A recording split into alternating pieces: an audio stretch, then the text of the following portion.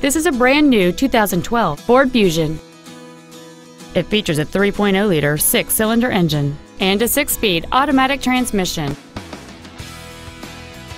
Its top features include heated front seats, a low tire pressure indicator, traction control and stability control systems, aluminum wheels, and satellite radio. The following features are also included air conditioning with automatic climate control, cruise control, heated side view mirrors, a six speaker audio system, leather seats, a four wheel independent suspension, a passenger side vanity mirror, dusk sensing headlights, a rear window defroster, and folding rear seats.